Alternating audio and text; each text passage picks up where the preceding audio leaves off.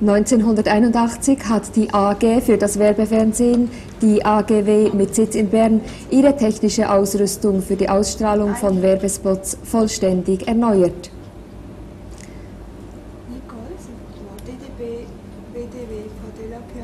Vorher mussten TV-Werbespots als klassische 35 mm Filme mit Lichttonspur abgeliefert werden. Der Auftraggeber hatte spätestens zehn Tage vor der Erstausstrahlung die notwendige Anzahl Kopien in jeder Sprache einzureichen.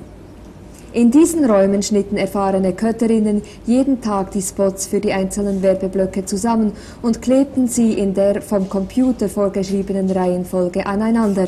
Das bedeutete 10 bis 12 Stunden Arbeit für die Bereitstellung der 13 Werbeblöcke, die, ausgenommen sonntags, jeden Abend auszustrahlen waren.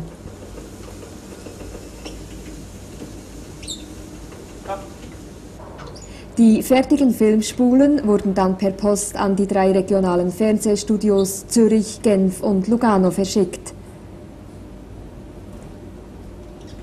Nach der Ausstrahlung kamen diese Filme nach Bern zurück, wo sie wieder in die einzelnen Spots zerlegt und archiviert wurden, bis man sie zu einem neuen Werbeblock zusammenmontierte. Während 15 Jahren hat die AG für das Werbefernsehen nach diesem System gearbeitet.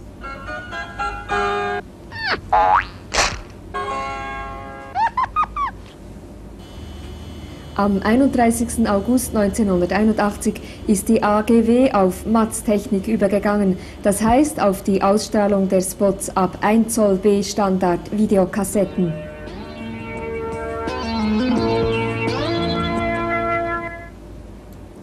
Die Einführung dieses neuen Systems hat bedeutende strukturelle und technische Veränderungen mit sich gebracht.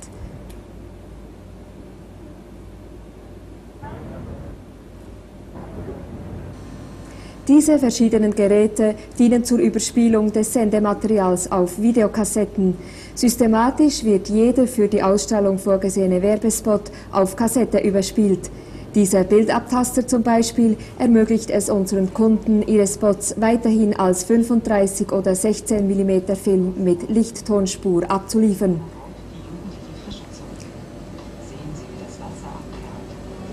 Es ist sogar möglich, die 35 und 16 mm Filme als Doppelband, das heißt mit separatem Ton auf 16 oder 17,5 mm Magnetband einzureichen. Eine weitere Möglichkeit ist, die Spots direkt als MATS abzuliefern, und zwar als 1 Zoll Videoband im europäischen B-Format oder im amerikanischen C-Format.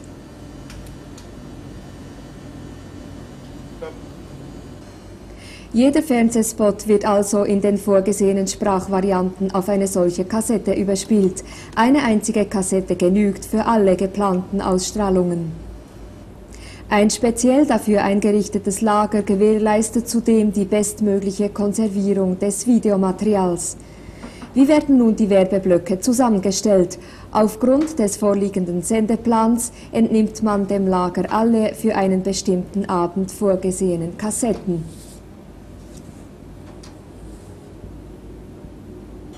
Diese Kassetten kommen in das Videocenter, das aus zwei BCN 100 genannten Apparaten besteht. Es handelt sich dabei um zwei Multikassettenautomaten, die insgesamt 64 Kassetten aufnehmen und verarbeiten können. Sie sind somit in der Lage, alle für einen Abend programmierten Spots aufzunehmen. Die mit den Kassetten geladenen Maschinen werden direkt vom Computer gesteuert. Ist die Verbindung mit dem betreffenden Studio hergestellt, erteilt der Computer seine Befehle dem Videocenter und überträgt die Spots der verschiedenen Werbeblöcke in der richtigen Reihenfolge. Mit diesen neuen Einrichtungen wird jeden Morgen die Verteilung der Werbeblöcke vorgenommen.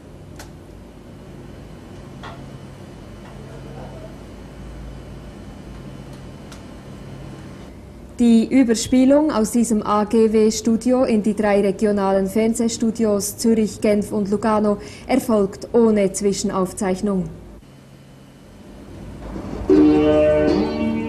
Die aufgezeichneten Werbeblöcke erscheinen am gleichen Abend auf Ihrem Fernsehbildschirm ohne Qualitätsverlust.